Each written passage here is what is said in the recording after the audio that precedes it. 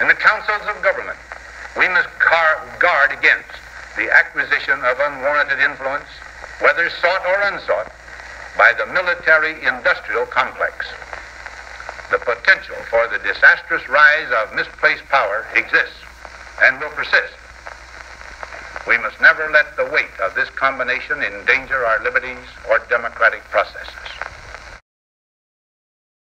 We're just wondering what you're doing out here taking pictures, that's all. All right, well, the cops are going to be here in a second, so we, can, Good for them. all right. Did you guys take an oath uphold and defend the Constitution of the United States of America? we do, absolutely. You know, this is First Amendment protected activity. Oh, hey, I, no. I, So why are you calling the cops on me?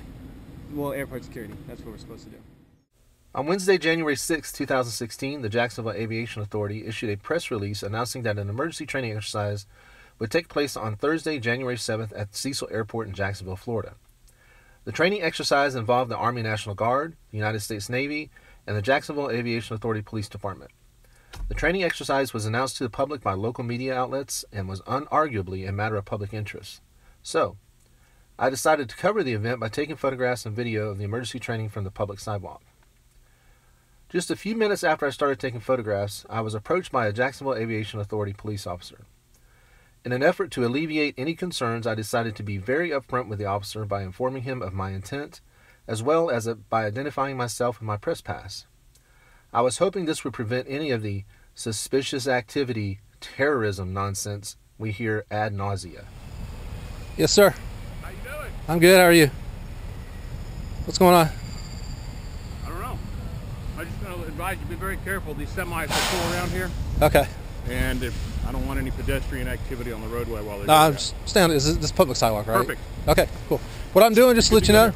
What's that? just I'm with the press, Oh, PINAC News Services, Jeff Gray, and uh, they announced that they're doing some sort of training out there. Only problem is it's way out there, and they can't get a good shot of it, where the helicopters are and the fire trucks.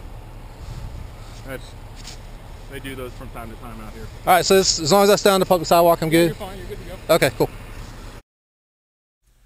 Despite the fact that this event was publicly announced by the Jacksonville Aviation Authority and then broadcast to the public by the local media, and despite the fact that I was very upfront about my intent upon initial contact by the Jacksonville Aviation Authority Police Department, I was still approached by the military and they called the Jacksonville Sheriff's Office.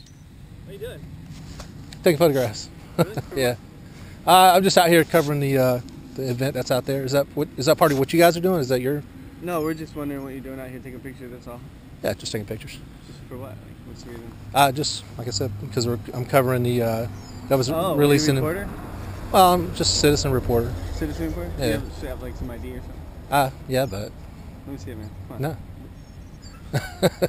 I mean, no, I don't have to show you my ID. All right, well, the cops are going to be here in a second, so Good for them. All right. Did you guys take an oath to uphold and defend the Constitution of the United States of America? we do, absolutely. You know, this is First Amendment protected activity. Oh, hey, I, no. I, So why are you calling the cops on me? well, airport security. That's what we're supposed to do. We, yeah, with someone taking pictures of near a military installation, we have to we have to do that, man. You know? flagged down by one of the uh, uh, military guys and Okay. saying that you're taking pictures of stuff over there, and it just kind of looked suspicious. So I'm just kind of curious. You got ID with you? Uh, I do. Okay, can I see it real quick? No. Okay. Well, I mean, I'm on a public sidewalk, and I'll tell you the okay, reason. well, that's fine. I told, I'll tell you the reason I'm here. There was a media release about the activities that are going on out here on the um, runway. This is like an emergency training event or something like that. That's what I'm doing. I'm taking photographs of that. And the reason I took a picture of the building is because I think they're the ones that are involved with it. So I just wanted to get a picture of the sign and the building in the background. Okay. That's all.